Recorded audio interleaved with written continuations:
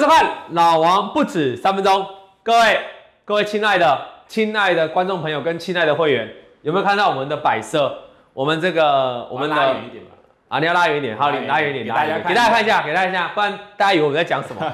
这是我们这个美丽的会计小姐姐啊，她叫小妹妹。小妹妹，哦，她跟我们去讲座的时候，全场焦点，啊大家说那个妹很瘦很正。哎对，我告诉你，好不好？那个妹已经名花有主了，你们冷静一点，各位男士冷静一点。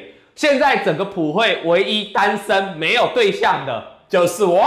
对，就是小编。你要么就找他，不然其他抱歉，我们全部女生都死会了，没错都死会。你，但是你如果要死会活标，啊，这个我也不能说什么啊，呃等下有人说活标你怎么办？活标我，我结婚了，他们是还没结婚啊，哎，你不要想太多啊，不要想太多，好，你看那么漂漂亮亮的哦，我们要跟大家说声 Happy New Year 啊！承继我们上礼拜二的跨年之后，哎，瞬间场景就要这种二零二一的感觉。我今天领带哦，也带来这个粉红色的了哈粉红，色这不用多讲，对，台股喷成这样哦，嗯昨天哦，昨天半夜哦，大概一群人，很多人放空的，想说完了哦，台股终于就要跌了哈，我们慢慢收回来了哈，台股终于就要跌了哦，结果嘞，嘎翻，因为最后尾盘继续嘎，嘎到现在是不知道明天礼拜几啊？明天礼拜几哎，啊？礼拜五不是哇，所以我说要顺势操作嘛。那我是不是常常讲台股跟美股？我我讲过几万次，两个没有一短期间没有一定联动，这个你是老观众都清楚嘛，对不对？对我不是今天才讲，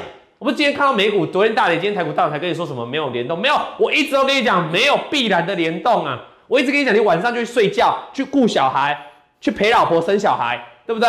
啊，不要浪费时间去看美股，除非你有做美股另当别论。但如果你是专但只做台股的，隔天台股又是一番的风采。我们早盘有稍微跌一下，有这震荡了哈，没有大跌消，这震荡平盘附近震荡，我们要尊重一下美股昨天大跌嘛，啊，尊重解料嘞，喷了啊，台股还是太强了，为什么？因为热钱太多了，我们台币今天又刷新二十三年新高啊，已经二十八元，盘中的时候已经失手了嘛，现在二七点多，哇，吓死人了。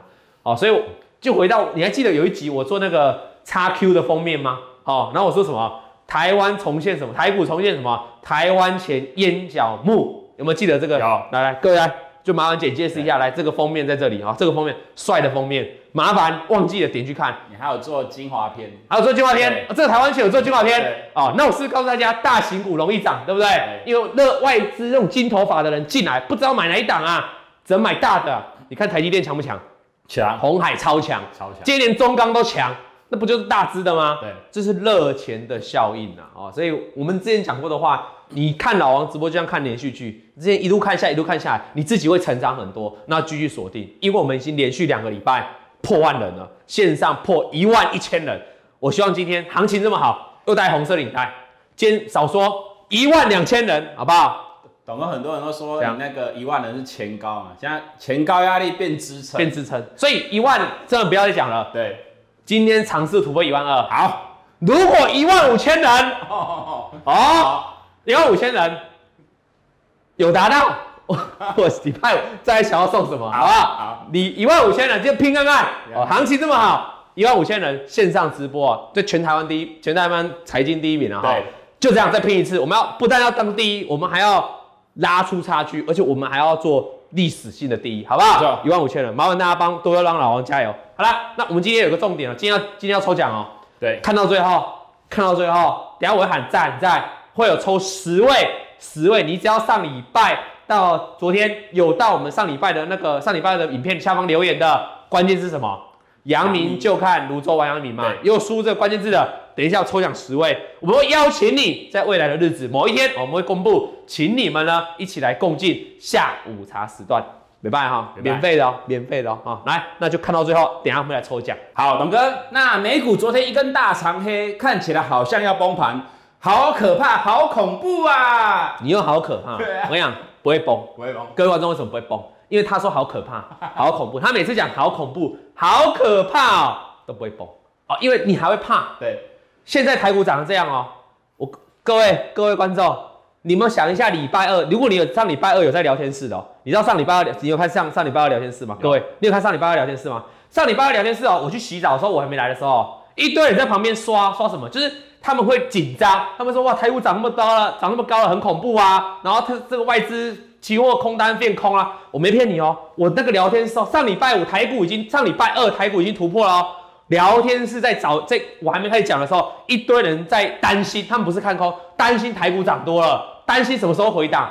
结果嘞，我一进来啊，我一进到了聊天室，我只讲了一句，我说看到你们这么多人在担心台股，在害怕台股，我就知道涨定了。你是线上的朋友，你回想一下，啊，不然改天礼拜下礼拜我把这个我把这个对话抓出来，礼拜五下礼拜我去抓。我一进来聊天室，我第一句话就这样讲，我说看到，因为我一进来就看到怎么大家那么担心呐、对我就说这样就我就安心了，因为还会涨。所以当市场你会怕的时候，透懂了。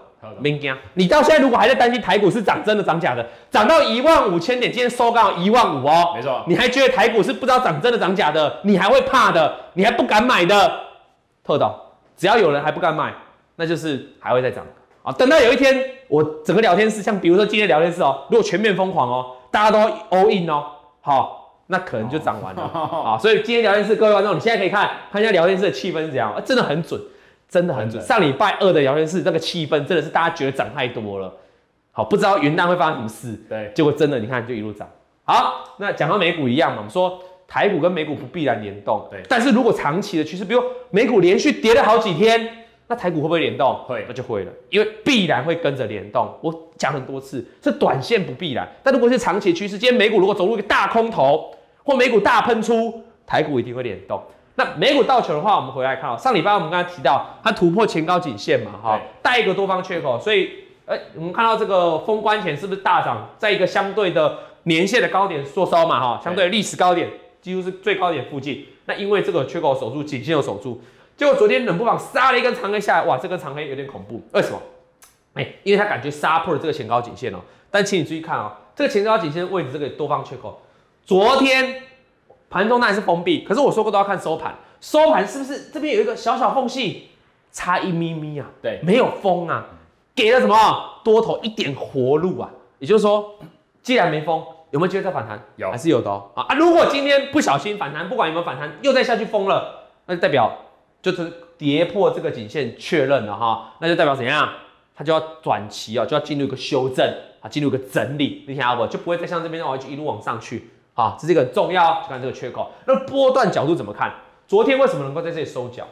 这边为什么能够收脚？这两根脚是不是都是长脚？对，啊啊，这两根长脚哦，你看这个长脚拉上来的时候，是不是也是震荡了很多天才再度往上？那这个一样嘛，这个长脚收起来之后，你要先期待它能够突破这个颈线，然后呢，然后还要去突破这个有没有前面两天的高点？那整个道琼才会结束整理，才会像这里这样结束整理，才会再往上攻，这是往上攻的原因啊，大家记得，原往上攻的要素。那如果你说下面这两条下影线为什么会拉出来？因为都来到一个相同的什么月均线？我们是不是跟大家讲过，道琼也好，纳斯达克也好，非半一个一个长线的波段的支撑，就哪一条均线？月月均线，这边又守住嘛？对这边说守住，那现在是不是又收脚？对，所以现在重点呢、过去两次都守住，包括昨天也守住，这第三次了。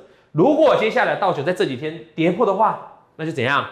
那就跟我讲的一样嘛，因为它跌破这里，等于是把缺口封闭嘛。对啊，进入短线就要进入整理休息了哈，可能会回档哦，好，那可能这整理时间会拉长。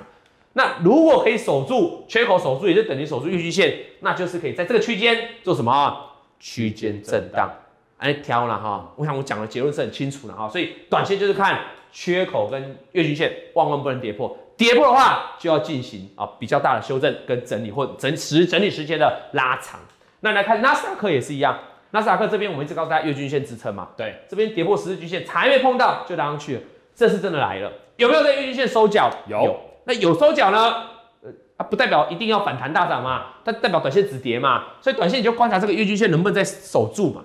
如果守住就反弹咯，啊如果失守的话呢，那你就要小心哦，它就整理时间又要拉长了，获取空间也要拉大。那如果能够反弹上来，哎、哪边是重点哦？如果能够反弹上来哦，这边是不是原本一条颈线？对，它就要想办法站回颈线，才能够怎样重回真正的止跌，然后重回多方的怀抱，啊不然的话就怎样，在这个地方哦做一个区间震荡。当然了，这边哦图没有画到，这边是不是有几个高点？有没有？有，所以你们也是试着把这里画一条，我这边图没有补到了，大家自己画，把这条画一条压力线，就会跟道琼一样，要能要能够再度转强翻多一波大涨，就不仅仅只是要站上这个颈线了哈，而且还要怎样突破这个前高压力了哈，这样才会继续大涨。安听好不？好，那这边啊要跟大家说声抱歉哦，因为我们上礼拜有跟大家讲这个道琼哦站上之后，我看法就是未来就继续往上创高，啊的确有往上大涨，有没有？但是那纳斯达克哦就比较可惜了，纳斯达克哎守住颈线之后呢，最终也没创高，就跌了下来啊。所以这个地方啊，我的看法这也算是哎看错了哈，因为我认为我上礼拜认为它如果能够守住这里啊，就有机会去往上继续创高，结果它一个冷箭下来哈，我们看错呢就要勇于认错。啊，不要含糊这样装过去。所以呢。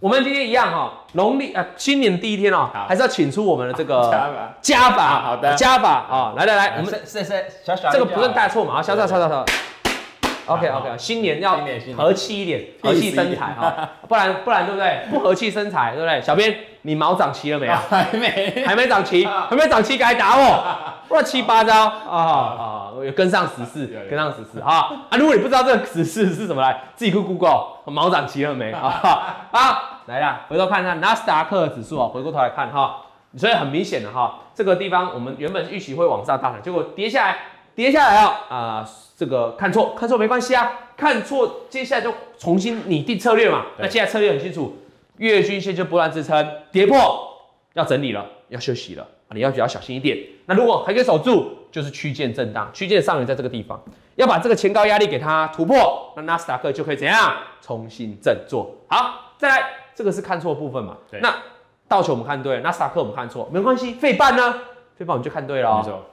上礼拜我们是不是告诉大家它是一个三角收敛？对。三角收敛，请问这根红 K 有没有突破？有，有突破啊。哎，有突破的话发生什么事？我是不是跟你说，如果三角收敛往上突破的话，就可以挑战前高？对。这前高在这个里啊，有没有过高？有。昨天早盘还是大涨的哦。这这讲对了吧？对。那是不是我再打回来？啊，没有这个规定，是不是？没有这个规定啊？有没有？啊，这这有讲嘛？啊，事先讲。好，那往上涨，涨上去又跌下来，那接下来怎么看嘛？之前讲对不重要，接下来怎么看才是重点。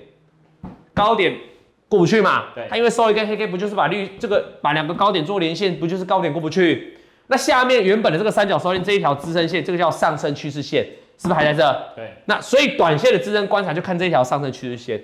月均线是不是刚好在这个地方？所以我认为这个地方就是一个短线的支撑。如果可以守住，那它就怎样？在前高压力跟这个月均线的附近做一个什么区间震荡？那一定要能够突破，最好要突破这个高点，那才能怎样继续转强了啊。基本上如果能够突破这个这个压力区，代表止跌了哈。那如果能够继续往上涨，突破这个高点，就再一波喷出了。那如果没有的话，就是在这里做区间。好，那我们再看 S N P 五百哦，S N P 五百呢，原本已经站上这个这个区间的上缘哦。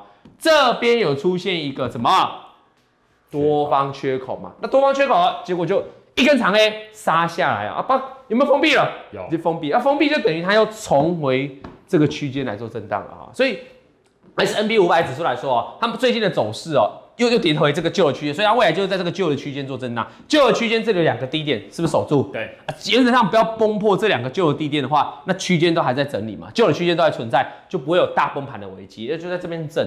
还要再度转强哎，因为这边又累积了一堆的高点压力嘛，对，所以就是要把这两个高点压力再突破，那跟道琼一样才会怎样重新的转强。所以我们可以给一个很明显的结论哦，昨天的长黑哦，对于美股的四大指数哦，有没有造成一定的伤害？有，是有的啊。你你看小编很聪明，是有的，有一定的伤害。但是你说要崩盘了吗？还没有，因为人家连月均线都还守住，或区间下沿都还守住，所以这个情况下。如果月均线守住，那美股就是一个区间震荡。好，你一定要再把上面过去一个礼拜的高点给它突破，那才会海阔天空。如果突破不了，区间震荡，那万一把月均线给跌破了嘞，我们就要注意，那美股四大指数可能就会转弱啊，转弱就会比较拖累到台股。那这个时候你才对于美股哦要十分的小心啊。好，龙哥，那港股突破喇叭上缘之后，就真的摆脱盘整，一路大涨，接下来该怎么看？港股我们上礼拜讲的这个喇叭嘛，对，你说是倒过来的喇叭嘛，啊，喇叭状的开口嘛，哈，就是这样，低点越来越低嘛，对，然后这个上缘就这样一条压力嘛，我们说它重新站回来所有均线，你千万不要看预均线操作，你要观察它什么时候可以突破这个喇叭状的区间上缘嘛。结果嘞，我们讲完之后，哇，隔天一个什么跳空啊，突破，哎，我们说标准的突破两两种，要两种，哪两种？跳空或长红要有缺口，跳空缺口或者长红嘛？对，这标准的突破，确认突破。请问它有没有跳空？有有没有长红？有啊，不就突破了吗？对，这，原本原本我们你还记得我们一直讲过这边有很多压力吗？这边一个压力，这边一个压，这边压力，就它一根长红把所有压力都过了。最重要当然是把短线这个喇叭状的开口上缘给它过了嘛。教很多次了哦，如果像这种在盘整的状态哦，不是不管是区间还是这种喇叭状，还是上升歇息下降，关键就在于它的突破。看到突破，你就要怎样？你就懂得它发动了。在任何股票上面也是，包括突破前高的形态，你在盘整当中你都不用太太认真去操作。但是你看到一突破，那讯号来了，你就应该要积极。像这一突破跳空，不就突破了吗？对。讯号来就一路拉嘛，就一路拉了。你它都有跳空缺口，你不太可能在这根长红中间一路去放空它吧？假设它是一张股票，不可能吧？不可能，多方的缺口的出现，告诉你我要表态要突破了嘛？那突破之后怎么看？最前面的这个最上面的波段的高点在这个地方，它它连这一天长虹连这个地方突破了，等于是暴涨啊。那我们说突破前高之后怎么办？这个形态哦，过去一个月就要烂掉，可能两个月就要烂掉。为什么？因为货柜航运有美极降，对美极交，货柜航运就一直这种形态。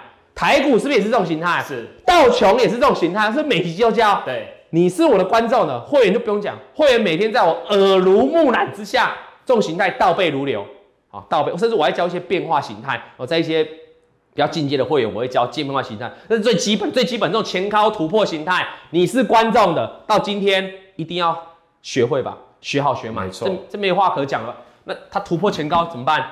继续往上涨啊，除非把颈线跌破嘛。啊，如果它震荡可以守住颈线呢？那请问多头还在不在？还在，那这这种国际股市哦，我讲过了，这种国际股市哦，美股除外，那这种国际股市、国际的商品，请问你都要看哪一条均线会比较刚好？十日均线，我讲过嘛，十日均线，所以它涨上来之后呢，短线你要看，你就看十日均线，那波段就看这条颈线，哪天把颈线跌破才会翻空。那如果短线呢要震荡的话，也要跌破十日均线，哎，前侧啊是要十日均线宽嘛，这样很清楚了啊。好，董哥，那 A 五十指数突破前高颈线压力之后，果然井喷，后市怎么看？井喷啊，井喷，井喷嘛。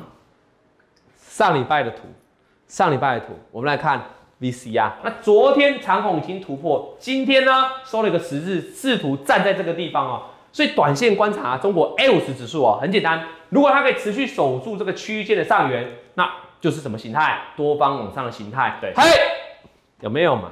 那上礼拜的图后面没有嘛？上礼拜的图只在这里嘛，对不对？。对，啊，事实跟你讲说它已经突破了，嗯，突破守住颈线支撑会怎样？井喷，就井喷嘛，啊，是不是都突？我还记得上礼拜我们一起，我不知道上礼拜上上上上礼拜我们是讲到全球股市好像都突破前高了，对，我记得我这样讲对不对？我记得都突破前高颈线了，接下来只要守住颈线，大家就是喷出。我记得我有一集这样讲啊、你自己去爬文啊，你自己去看我以前影片啊，它就标准就突破了嘛，刚才 VC 也看到啊，不就井喷？对，啊，现在怎么看？国际的这种指数看哪一条均线？十日均线，解完了。啊，你这边盘整很麻烦，对不对？对哎、这个低点哦，很多人把它砍掉、哦，因为它跌破什么上升趋势线嘛，哈。但是我是教大家，你要看前低，对，有没有？有没有印象？我是说要教看前低？我是说要守住前低，所以你不要杀低。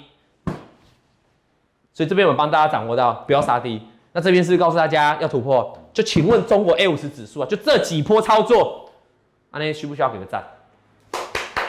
啊，如果你是对岸的朋友，我们的好朋友，对岸的朋友，你有你对岸朋友一定对中国指数比较熟悉吧没？错，请问这这里的操作跟这里这两波老跑老王的看法有没有稳稳的抓到？有没有事先讲？有，哎、这个这个前低是有事先讲的哦对。在这个跌还没跌，我就跟你讲前低没破，你就不要太紧张哦。就跌下来，我跟你讲前低守住了，这边我跟你讲要突破了，这是技术分析嘛。所以对岸的朋友，麻烦给老王一个赞，然后拉你们附近的朋友一起来，一起来看直播，一起翻墙到台湾来，到宝岛来看直播，好不好？好，因为很有用嘛对，哦，很有用。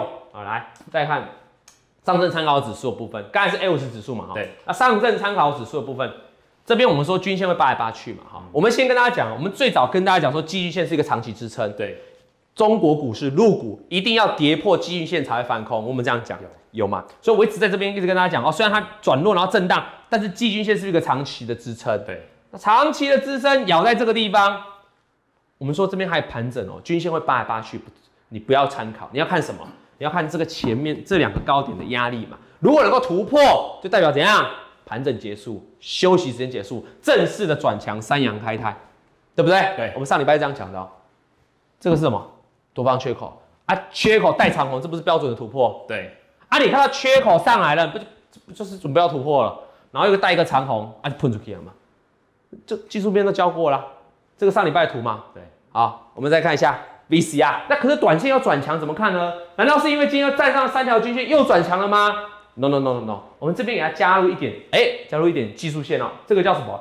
前高，对不对？上一次反弹的高点，那这边这一根黑 K 哦，高点是不是刚好在这？对，所以我上次有点忽略掉这根长黑 K 了，结果这一次就没过嘛，所以这一次再上来，我就要记得这个长黑 K 的威力，所以这两个高点刚好可以画成一条什么？高点压力连线，也就是说，即便它现在形成三阳开泰，我们都要等待它把这个高点压力给它怎样突破，那个才可以确认这里是正式的翻多。那么到时候呢，你还是可以相留意哦相关的这个 ETF 啦哈，入股 ETF，安呢有问题不？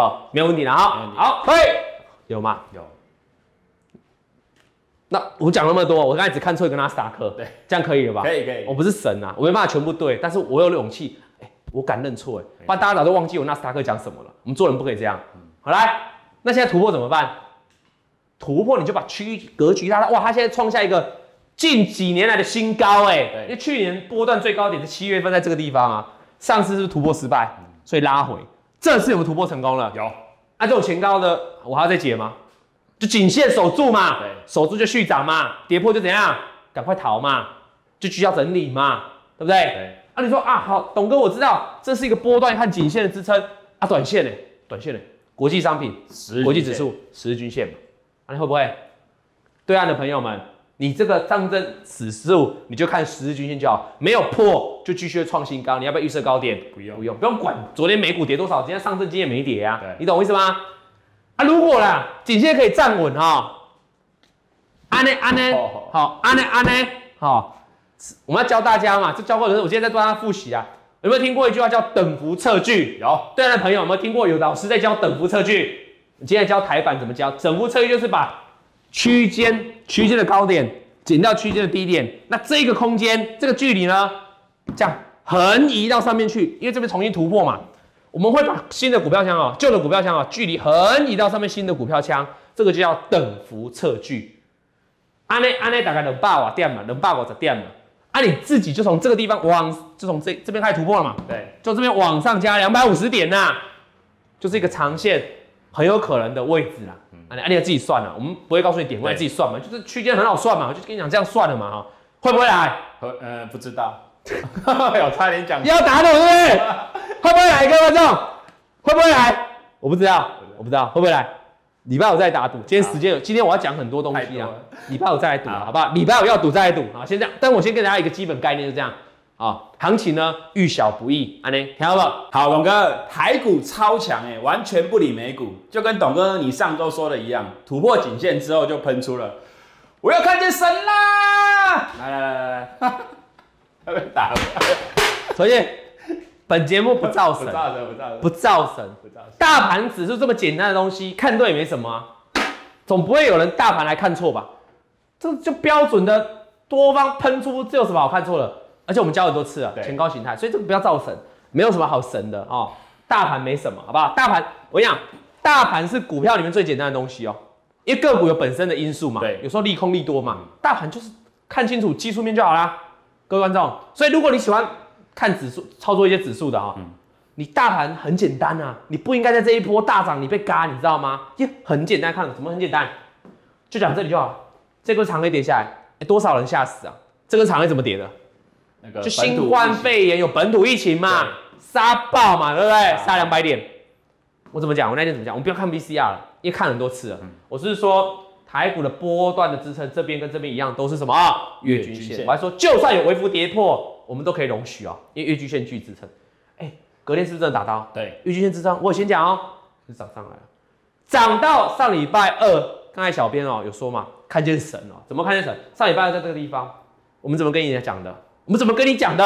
我们来看 VCR 啊，这个都突破了嘛，啊，你当天要做个短脆啊，抢个股票，抢个反弹，它不就突破了吗？对，是这样。所以接下来就看这个颈线了哈。当然回撤下来最重要的波段支撑还是哪里？月均线。月均线如果它把颈线跌破，那叫突破失败，那就会拉长它整理时间跟空间，那就要你看到什么？哪一条线？月均线啊。如果都守住，你就不用太担心，就是继续往上了啊。可以，有没有讲？有，啊，这个形态不就是，不就跟货柜行一模一样吗？对，这我真的教到我快生气了，我学啊，了解了解，这个如果在这个这个这个大盘如果再看错的哈，我真的不知道怎么讲你了。就这，它上礼拜这个长虹不是已经突破这个前高了？对，啊，那震荡一下收了一个小黑 K，可是有没有守住颈线？有，啊，突破前高守住颈线，那未来不就继续继续涨嘛？对，啊，所以它就继续喷，啊，这礼拜就一路喷，这样喷了啊，六百多点。你应该要掌握到这台股六百多点涨势，因为老王上礼拜有没有事先讲？你看 VCR 不是已经看了？这哎、所以谁在讲老红马后炮？这个马后炮啊，没有？我刚才给你看那么多 VCR 嘞，到底到底什么时候马后炮？那是上礼拜二的事情嘞，过了一个礼拜，知道马后炮什么啦？都先讲的，就上去了。那短线怎么看？五日均线，五日均线，因为它不是国际商品嘛。那台股这种喷出的角度，每一次这种喷出角度就看五日均线。五日均线没有跌破，你要不要预设高点？不用，你就放轻松，放轻松，台股继续涨，那你听好不好？好，等到哪天五日均线跌破，你再担心就好了。好，OK，很轻松了哈。所以你不要想很多，有些会想很多、哎，说什么上礼拜什么金融股涨啊，对。然后什么什么外资空单现在一万口啊，对对对，哦。自己吓自己啊！你看我的节目啊，我上次就跟大家讲过啊，我明天再跟你聊，我明天再跟你聊什么外资流、空流多的，那干我什么事啊？我只看技术面。对，啊，这样你比较轻松哎。你如果一天哦，你要研究这个大盘哦，你要看一堆东西哦，你要看借券，你要看融资，你要看融券，你要看外资，你要看期货，哇塞，你要看一堆，你可能看二十分钟才可以看懂大盘，万倍，就一条颈线突破，啊一条均线，啊有时候再加个缺口，啊呢三行，啊呢可能小编这十秒就看完了，差不多，就多方趋势嘛，对，就这样。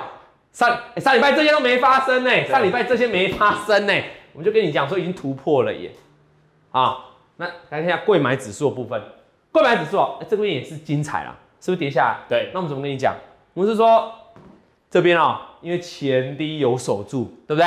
前低有守，所以我们可以会容许它短暂跌破，可以。可以，可以容许短暂跌破，因为月均线就是波段的支撑，对，也不用摸 VC 啊，好，因为播过了，对，它就大涨上来了。那接下来怎么看啊？你你看这里就好了，从我们这边哦、一堆人会把它错杀哦、对，啊，可能股票出清哦、我们叫我会员把股票出清，没有，我们叫观众把股票出清，没有。我都说可以维持在三成哦、对。或三成以下哦、哦，你大概可以，因为这边本来就比较弱势嘛哈、但涨上来之后呢，我已经在我的午报提醒我的会员可以怎样？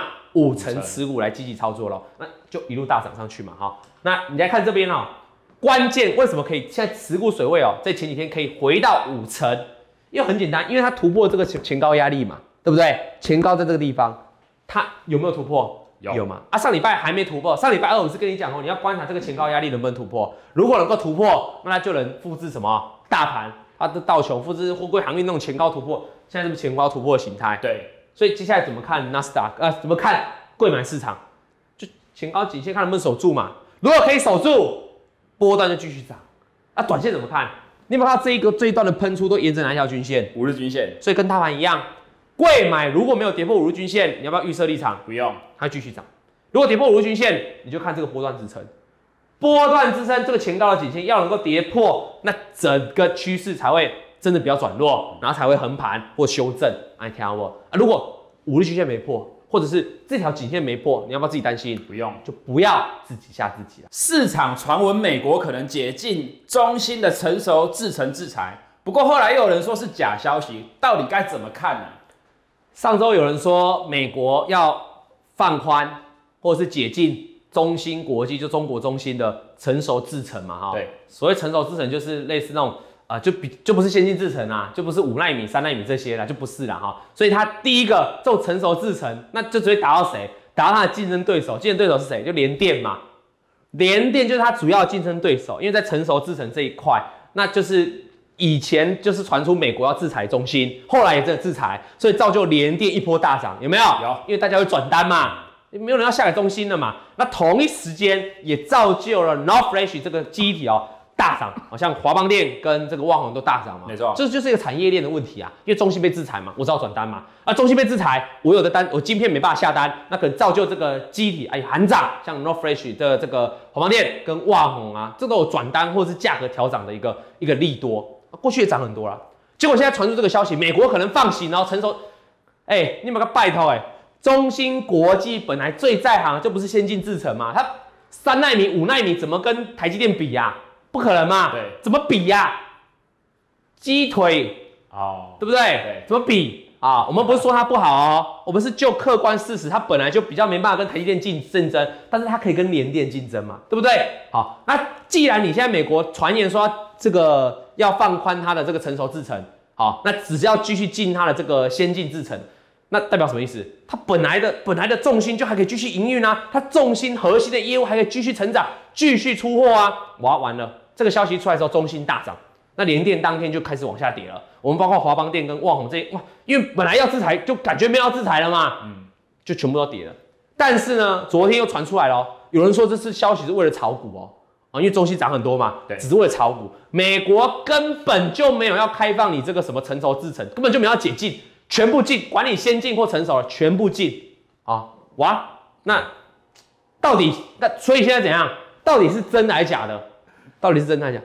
真真假假，假假真真嘛？但我只有一个结论，不管真假，伤害已经造成。你去看最，你可以看今天的中芯国际或昨天中芯国际有大跌吗？也没有啊。它这几天涨上来，大涨之后也没跌回去原点啊。如果你说这个消息是假的，那也没跌回到原点啊。那联电就好，你说这个消息是假的，那联电今天应该暴涨猛涨啊，有涨回去吗？没有，华邦电、旺宏今天还是跌的，啊，华邦电小涨，旺宏今天还是跌的，有涨回去吗？没有，所以这就是我们在面对消息面的时候，我跟大家讲，我们操作股票不是在看消息的，你管消息是真的是假的，我就问你一句话，一你一句，几集两三集以前我们有做一集嘛哈，Apple Car 对不对？对，我就问你啦，Apple Car 第三季真的会不会量产呢？我就问你，现在我就问你啦，Apple Car 到底第三季会不会上市？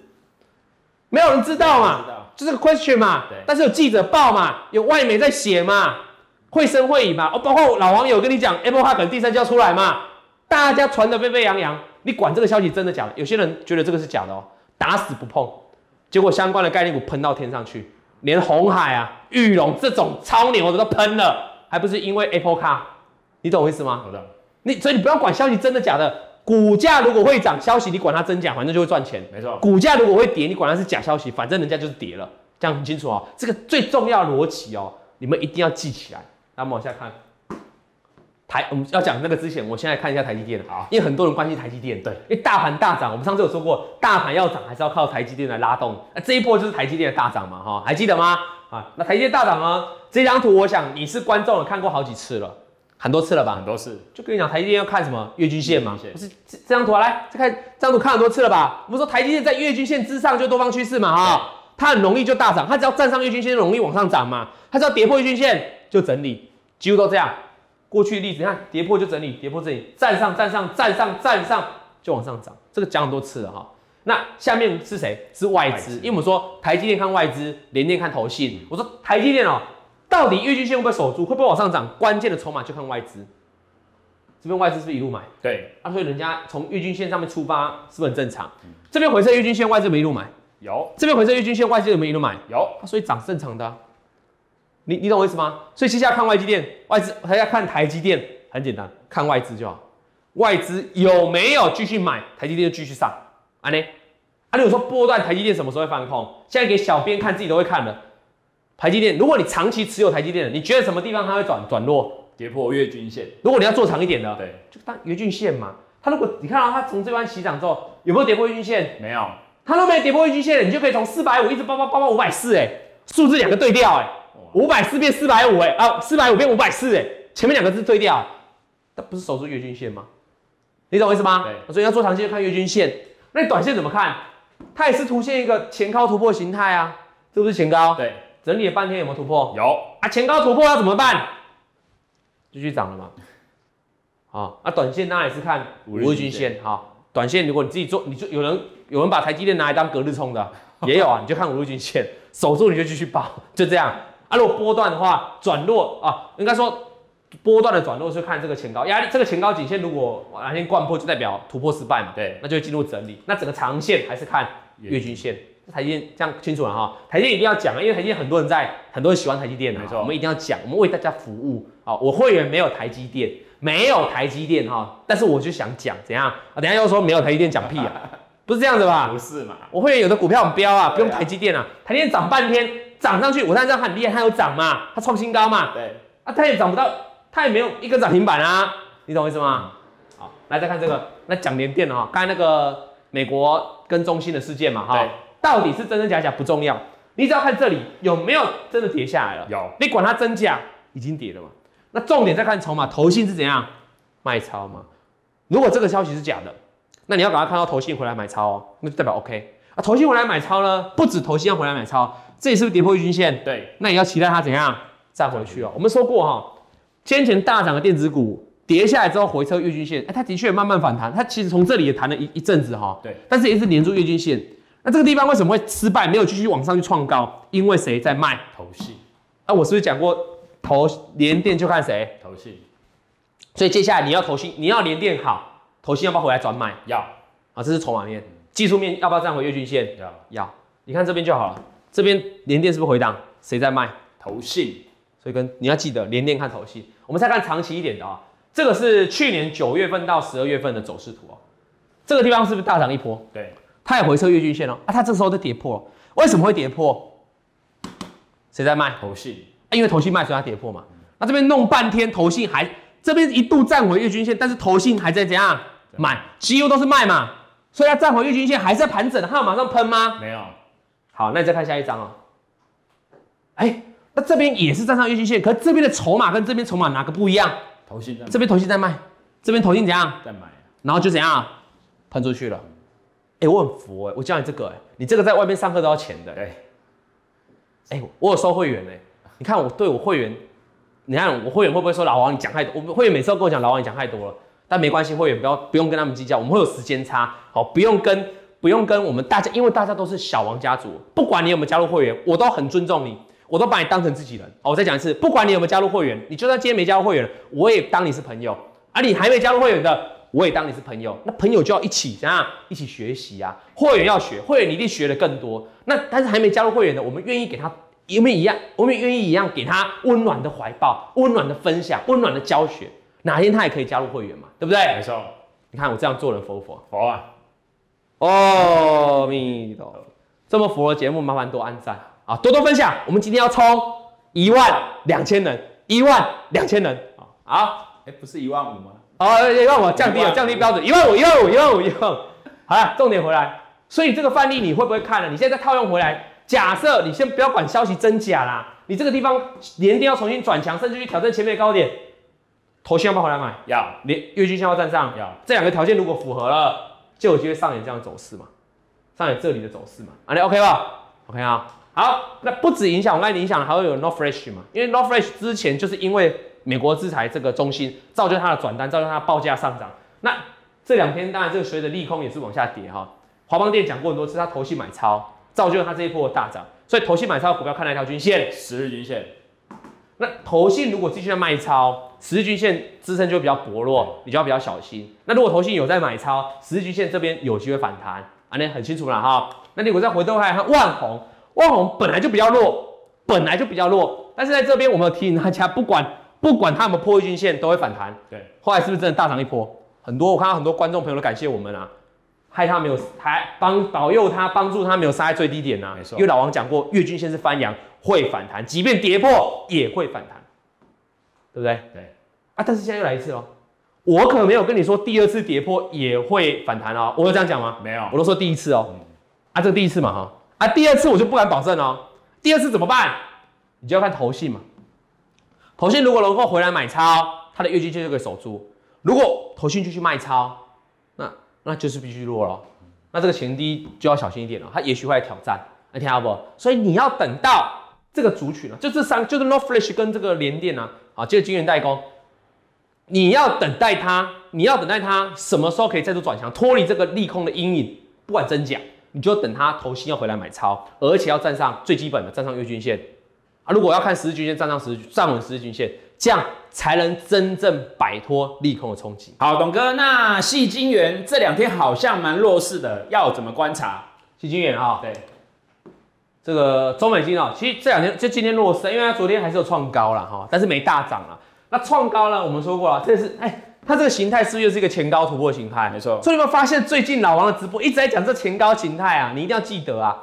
那前高突破，哎，请问前高要用什么标准的突破？两个跳空或是长红？跳空或长红吗？对，啊，这边有没有跳空或长红形态？没有。所以它没有一个确认突破形态，甚至它有一个上影线嘛，哈，就没有成功。啊，没有成功，没既然没突破，就回来再震荡喽。好，就这样，好要突破，啊，它突破突破就就这样了，就就喷了嘛。对，可惜没有嘛，啊，没有没关系嘛，就回下来，看哪一条均线，月均线。它上次跌下来的时候，跟大家讲说月均线这边会止跌反弹，哎，真的反弹上去。再一次，啊，这等于第二次喽。啊，第二次有没有保证？没有，没保证哦。我们都跟你讲第一次的哈，所以不要再误会了，就第二次是没有保障的哦。好，我们再往下看哦。中美金要看谁？为什么今天会杀盘杀？今天台股是大涨创新高哦。为什么中美金会杀得这么用力？因为中美金过去这一波，你看，包括这边的郁金线能够反弹，请问都是谁在买？投信。我们讲过它是细金元的指标股嘛，我们也说过它就是看投信。那结果昨天投信怎样？居然转卖啊！居然转卖啊！就我昨天就立，今天就立刻什么获利的卖呀，停损的卖，不管，反正就是赚。哎、人家赚投信这样赚了一大波上来了，人家这边随便卖随便赚嘛。人家看到投信转卖了，我就赶快卖，O 不 OK？OK，就所以今天就跌了嘛，这就是一种市场的集体共识。就好像等一下我们看到面板哦、你可以看到投信一卖哦、友达跟群创就跌翻了，一样道理，集体的共识，大家本来都看投信，投信转卖，我就跟着卖，所以造就今天的卖压。所以这个地方要注意哦、如果投信继续卖，那月均线可能会失守哦、所以投信很重要。那如果投信如果可以，投信如果可以转买，那月均线才会发挥它的支撑啊哈。那如果有一种情况，投信如果真的转买，可是月均线还是跌破，那怎么办？等它站回月均线。对，那就还是转弱，你就不要再傻傻。我们上次有教过，技术面最重要。对你就不要再看什么投信在买超，我就月均线报。No No No，不要这样，投技术面最重要。OK，好，那你回过头来看哈，下一次转强，下一次要转强，重回颈线是资本，是基本，重点也要把这个高点给它突破，那才会转强。对那、你听好不？好啊，不然的话，现在就只能看被动去看这个月中。被动不是讲被动元件哈，我说它只能很被动的去看月均线有没有守住，意思就是说你空手不要乱碰啊，对安听好不好？一直爱整理啦，整理有强弱啦，守住月均线叫强势整理啦，跌破月均线叫什么？弱势整理啦，那就转弱，那就比较不好。那其他的？你看环球金哦、环球金今天为什么相对强？这几天相对强，因为环球金跟中美金不一样，环球金这根长红有没有过了前面的颈线高点？有，这个它它没过嘛，对，它有过嘛，而且人家是长红嘛，所以人家相对强，会不会？这样看得出来哈。那中美金啊，那个环球金相对强之后，你就看这个颈线支撑是波段支撑嘛。万一哪天黑长黑灌破，那就怎样？就会学中美金一样，就会重挫嘛，就就拜拜了嘛，突破失败嘛。那如果还守住嘞，那就是还 OK。那短线怎么看？因为环人中美金昨天外头头信是转卖，对环球金昨天投信还是买的哦。整理来看，投信是不是一直在大买？对，所以投信买超股票大涨上去，我们看哪条均线，十日均线，十日均线刚好是不是在这个位置？对，所以这个地方啊，颈线跟十日均线形成双重支撑，所以只要没有一根长黑贯破，那环球金都还比较 OK。它也许中美金修正，它也会跟着整理，像今天也是跟着整理嘛。对，但是它就不容易像出现一根长黑，除非除非中美金崩下去了哈，那它可能就是，可是它就算跌下来，你还是要观察这个重点啊。所以如果你持有两档股票的人不一样，就这两档不一样的人哈，你要不一样的观察。环球金因为它的股价比较强势，所以它反应上来就比较强劲，有没有？有，那它比较强劲，你就看这个十日均线跟颈线能不能守住。如果失守，那就转弱了，那代表细晶圆最高价的转弱，指标股会转弱，那个族群就比较麻烦一点。是说我要跟你讲啊，这个中美金今天转弱哈，你可以看到其他细晶圆的个股，像嘉金哦，它是不是也跌跌破月均线了？。对，那合金也跌破月均线了哦。那核心跌破月均线一个重点在于，它这边头信买很多嘛，对，这边是月均线的反弹，可是这边投信发生什么事？转卖啊啊卖啊，这边也小买就就站不上去了，所以你可以发现这个族群有些已经转弱了。那你再看一下汉磊，汉磊今天也是弱势下跌啊，它高点昨天大涨哦，但是昨高点有没有过？没有，前高极限有没有过没？有所以你要记得啊，一个股票如果要大涨，就把前高极限给突破，如果没突破，你有没有太过激动？不用，因为常常会遇到突破失败的情况。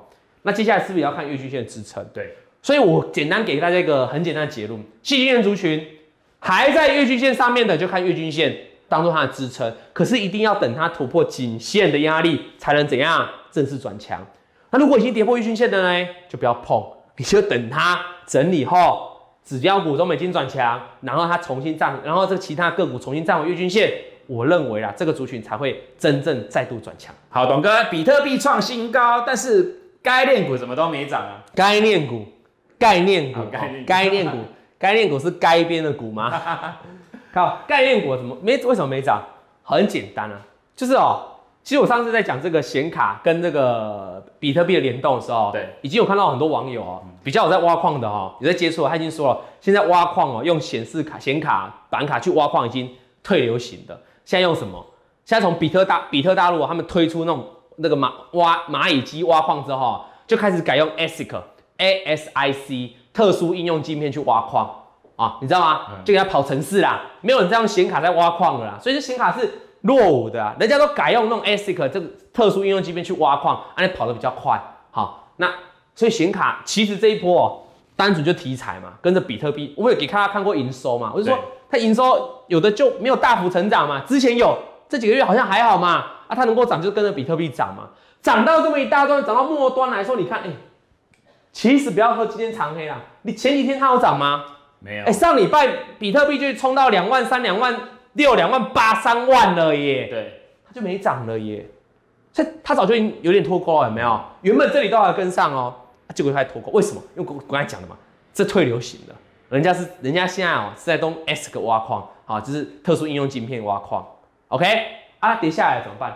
过去我讲过，汉讯跟青宇这两档标股哦，看哪一条均线，十均线，刚刚好在放假的时候，元旦前啊，那个礼拜四，我们有一集这个比特币的什么精华篇，对你去看，里面就有剪，你继续看，我是不是这样讲的？我就跟你讲，汉讯跟青宇要看十日均线，其他的板卡主你看哪一条线？月均线，我讲继续看了哈，精华篇啊，精华篇来，我放放链接在这里，放链接好，那美编师帮我放封面在这里哈，精华篇在这里，继续点去看，它今天会重挫，为什么重挫？集体共识啊，因为它怎样跌破十日均线嘛，那你看它这一段的过程当中，我在讲的过，它是不是守住十日均线都有在创高？有，今天跌破了代表转弱了嘛？对，这代表转弱了，你要等它重新站回什么十日均线哦，青云。好守住十日均线，所以昨天大涨，今天好像又开始跌破了哦，那就要小心啦。啊，守住，如果它明天还可以守住，没关系哦。如果跌破，你就要注意了。这一波是不是都一路守住十日均线？对。晨起在月均是月均线上下附近震荡，因为没有太大力多嘛，它动不了了嘛。好，成印泰勉强还撑住月均线，所以这些都还撑住，勉强还撑住啊。为什么他们还撑住？因为人家这两档涨很多，他们几乎都没涨。对。那你就要注意哦，这种没涨的不是说一定要补涨哎，没有人跟你讲这道理哎。比特币在创新高，它都没涨了，万一它哪天开始像这个印泰已经开始跌破月均线了，如果晨起开始跌破月均线哦，那这个族群你就要小心了啊，就就被全面转弱。那那显卡怎么办？如果我持有显卡怎么办？我看好比特币大涨啊，跟上结果都没跟上怎么办？哎，你要看晨起印泰的高点还在这里哎，晨起的高点还在这里哎。这个位置，这个位置，各位，你记得我们直播或者是会员，你记得我跟你讲什么吗？小编你还记得吗？在这个位置啊，我是跟你讲说板卡不要追，显示卡族群不要追，这个位置啊，我还我还在直播贴那个贴那个它营收，对不对？对对对。好了，人家汉讯跟青云的确有过高了，因为他们营收够好嘛。我那精华片有讲嘛，啊，这两档营收没有大幅增加了，有过高吗？没有。所以不要说什么比特币为什么它不联动，它连自己本身的高点都过不去，他们当然就弱势嘛，你懂吗？所以接下来能够解救它了，比特币看起来已经救不了他们了，能够解救他们是什么？营收，营收。接下来十二，现在十二，现在一月初了嘛？对，要公布十二月营收嘛？如果营收可以大幅成长，OK，还有人在用显卡挖矿，营收有出来，那也许还能涨。如果营收再挂，那这个主群就要比较小心一点了哈。尤其是如果跌破技术面的支撑的时候，各位就真的要小心。那你也不要说比特币哦大涨啊，到三万多啊都没有概念股在动，有啊，我刚才怎么讲啊？现在都有什么特殊应用晶片嘛？对，ASIC 嘛，ASIC 在外跨嘛。创意这两天不是大涨了吗？对，新春开红盘一回来就大涨了。世新不也是吗？对，这是应用晶片概念的相关 IC 设计股，有没有大涨？有，都连两这样看高高价股啦，连两天大涨。哎，说真的，你回过头来看。这几天台股在涨，涨什么？大牛股、全指股、中钢、红海、台积电涨什么？高价股，联发科昨天大涨，世新是不是高价股？七百多块，创意是不是高价股？是三百多块，四百多块，所以这一波台股涨的哦，正规军啊，加班的呀、加班的全指股啦，高价股啦，所以涨势很健康啊，你懂我意思吗？，yes，都都高价股在动，都正规军在动，怎么会涨势不健康？对，外资进来都买这种的啦，你懂我意思吗？正规军，所以你从这个盘面的角度，你可以台股很健康啊，哦，不用太担心，不用，不是不会崩，你等到崩盘开始出现长黑或跳空的时候，你再担心就好了嘛。没错过程当中为什么你要有有句话是这样啊？天下本无事，庸人自扰司啊。啊，OK，好 OK，OK，啊，来再来看创意为什么最近会大涨？因为说老王啊，ASIC 这个挖矿不是最近的技术哎，去年前年就开始有啦啊。对，为什么？那之前为什么他们都没有跟着大涨？你看刚才那些显卡哦，飙翻，前面这边飙翻哦，那为什么？诶创意他们这边有涨吗？没有，为什么这边没人涨？没涨？各位一个重要关键，筹码不对啊。你看这边比特币之前在第一波飙的时候，投信在干嘛？在卖在卖超啊！这波创意大涨，谁在买？投信啊！你看最近哦，就看最近几天，最近五天投信买几天了？四天，是不是筹码改变了？对，再看四星 KY，这边为什么没有跟着比特币大涨？筹码不对啊，投信投信都小买，然后大卖啊。最近这几天开始怎样？回来大买啊，就拉上去了。这边是不是也是大涨？对，四星是不是也是大买？投信是不是也大买？这样懂了吗？筹码面造就 ASIC 这个本来跟比特币最有相关的挖矿族群哦，一开始没大涨，但现在迎头赶上。可是他们是比较具有基本面的，对，所以它涨得会比较扎实一点。那短期怎么看？他们都有投信买超啊，十日均线，四均线。来，节目进到这，很多新的观众进来，对，一万了没有？应该还没。我们今天不是要冲一万五吗？一万五，一万，各位用力的分享，行情好看的人要多啊，才会热闹，才会吓怕，对不对？对。来，我们先给大家看一下，因为有很多观众刚进来哦，来，各位看一下我们这个，哎、你看在这个布景，Happy New Year！Happy New Year，上礼拜我们跟大家倒数完了，今天 Happy New Year，这漂不漂亮？漂亮，漂亮嘛，对不对？这样才有过年的感觉。台北股市这两天有没有过年的感觉？有，有吗？这个叫开门红啊，对开门红啊！恭喜大家赚大钱，赚大钱，用力的按赞，用力分享，还没订阅的赶快订阅，我们要冲二十万订阅。来，小编下个问题，好，我先缩小哈。好，你先缩小，对对对，好 OK，好，董哥，那上周三星传出要暂缓关闭 LCD 的产线，这个面板利空怎么看？三星上礼拜嘛，对传出说它原本它预计是年底要关闭这个 LCD 的产线嘛，哈没，错，结果他说啊，我要暂缓啊，暂缓关闭这些原本预计要关厂的 LCD 啊，意思就是说继续生产啊。完了，这个消息哦，当然是面板的利空，不过这个消息是发生在我们直播之后的消息了哈。对，所以我们当下就是我们对会员当然马上就有分析啊，马上就有教他们要怎么动作。但是如果你是一般观众的，看 YouTube 的，哎、因为刚好卡一个跨年，你就只要等了一整个礼拜，到今天才能听到老王的见解嘛，哈，对这就是会员跟非会员的差别啦，还是有差。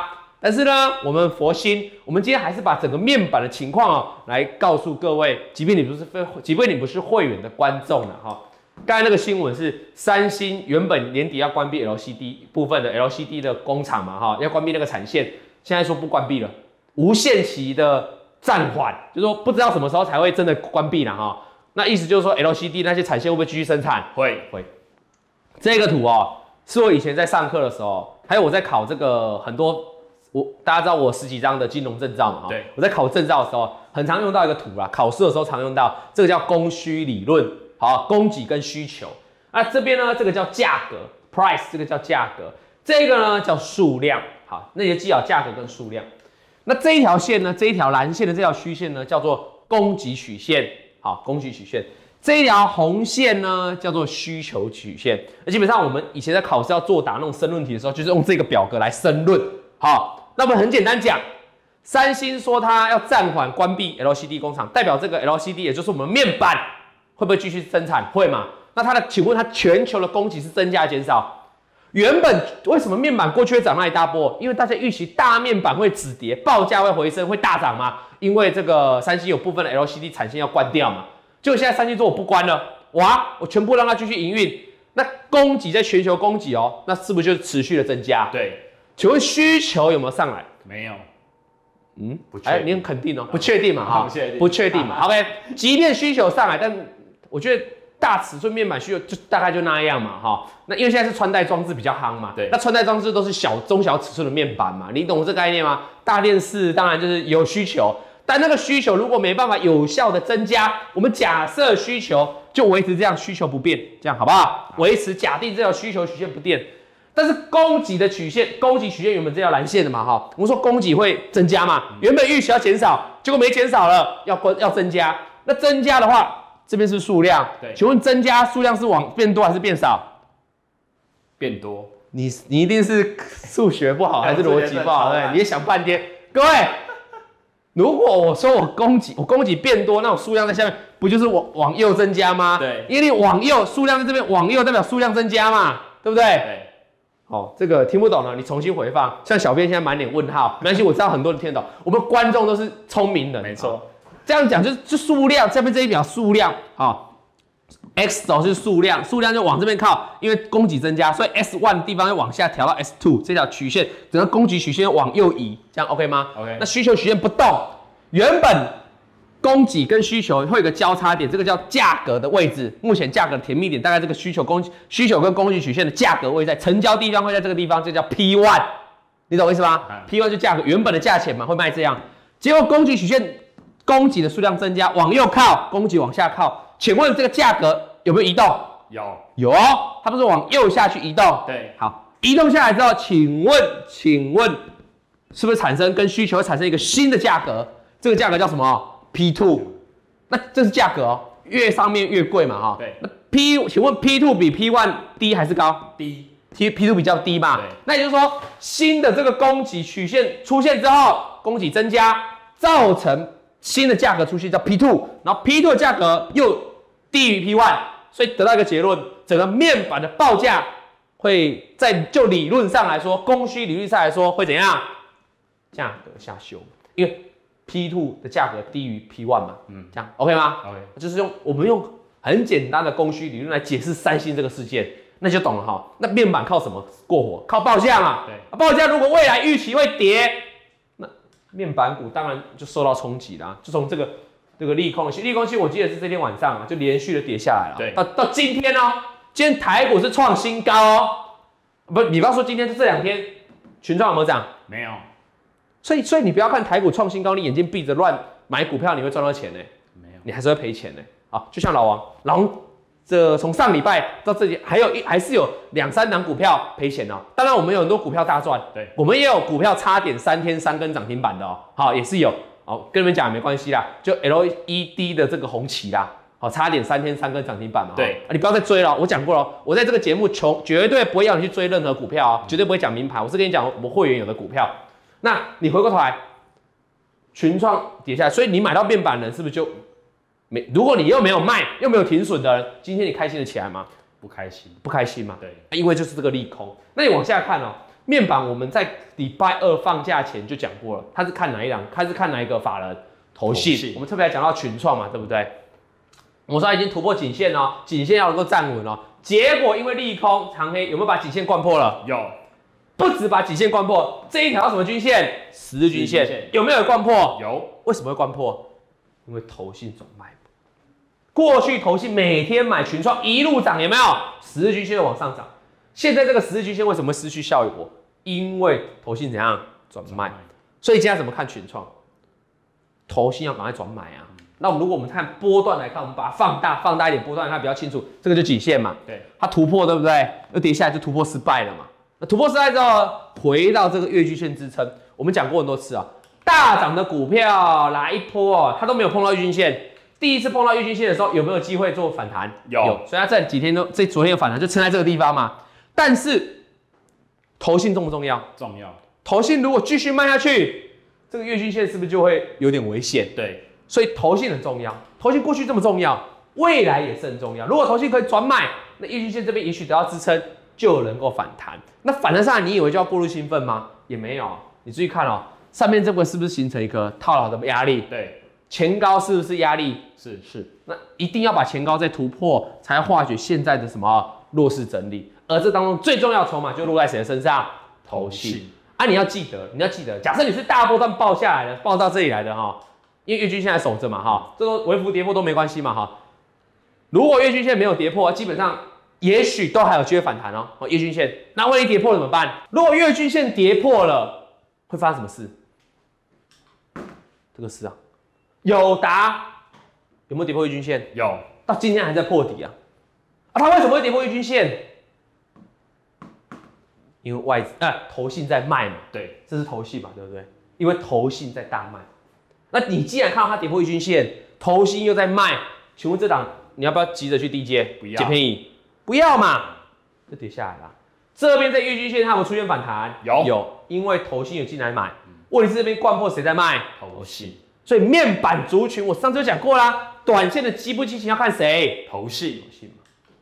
再看财经，财经不也是跌破？它在这边回第一次回到月均线有没有反弹？有，有没有过这个高点？没过。友达有没有过这边高点？没有，都没过嘛，所以再下去嘛。哦，是回推过来，刚才群创，我是说，就算它月均线反弹了，请问哪个转强点很重要？前高，前高如果过不去，那还是要小心嘛。这反弹你之后还是要处理嘛。对你听得懂意思吗？好，当然你持有的，你被动持有就看月均线嘛。好，OK，好看月均线。好，那不止哦，这些面板的股票受到影响哈、像相关的零组件、供应链、友辉本来站上月均要一副突破了，有没有？对，也被拖累了下来。当然是有大涨啊，也是被拖了下来，因为这个利空。成美才一副来到月均线反弹，一副要上去，有没有？有，也是跌下来了。为什么会跌下来？啊，面板假设都不好，你觉得它其他零组件要怎么好？对不对？对这个很简单逻辑嘛。啊，所以他们都会受到影响。那你要等这个利空淡化，这个利空，这个利空，这些零电板零组件要重新转强，或者面板要重新转强，看哪条均线？月均线，因为他们现在都跌破月均线了，有没有？有只剩群创还没嘛？那有跌破了，你都不能乱碰嘛。你听得懂我意思吗？那有守住，你还可以期待反弹。对啊，所以这是零组件。那还有一张零组件叫明基彩嘛，这个利空冲击这边杀了一根跳下来跌破月均线哈、可是它是重新站上月均线，对，然后就喷出去了，有没有？有，它是真的非常，我们刚才看那么多面板相关的族群个股啊，它是真的很少数很少数这么强的啦。它的关键的原因就是它它摆脱了这个利空的冲击，它重新站回月均线，有没有看到？有，有吗？啊，所以你面板不会看了哈。各位观众，面板会不会看？如果你持有面板相关的月均线，就是你重要的多空关键。按哪一套？按说老王啊，你为什么特别讲明基彩这一场哈？它很强哎、对，哦，因为我跟你讲，我刚才不是讲说，这种我们有时候在这种行情下也会赔到钱，对不对？对，比如说老王哈，呃我特别要跟大家分享，明基彩这样股票是怎样？你说面板跌成这样哦，老王你有没有避开？哎、其实我们有避开，我们像像我们有避开大跌段是有，但是我们还是受了点伤。我们在因为我们完全预知不到这样的利空会发生，所以呢，当这利空消息出现的时候，哇，我也很惊讶。但是我们做了应变，什么应变？来，镜头拉近，好，十二月三十号，三十号哦，早上的九点零八分五十七秒，九点零八不是刚开盘，传送给我三九九九的会员哦。三星延长 LCD 观赏计划，面板今天受到拖累，明基彩早盘，明基彩有没有看到？有早盘跌破预均线，请务必停损出场。若你手上自行持有其余线面板相关个股，无论赚赔也请出场。好，回来。我有带会员买了一档叫做这个明基彩啊，那一天是哪一天？那一天就这一天嘛哈。早盘呐、我们不是最后杀低的嘛？对，早盘就请他们卖掉嘛哈。啊啊，这不都被洗掉？对，我本来我们把这里遮起来，我本来看好它，哇，稳的稳的要上了，好、啊，我看它筹码很好，啊，结果这两天真的喷了啊，但是我们这边停损了。对，然后我呢有一就一，有二就，我绝对不会在电视上面说谎嘛，大家都知道我人为人嘛，没错哦绝对不会骗人嘛，所以我不会那么哎、我今天可能不要脸，我跟你说，我有带会员买这个明基彩，好，嗯。今天涨停，我屌了，有啊，我当然可以这样讲嘛，我不会干这种事，对，简讯都给你讲了，好，刚才简讯有看到了哈，我都给你讲了。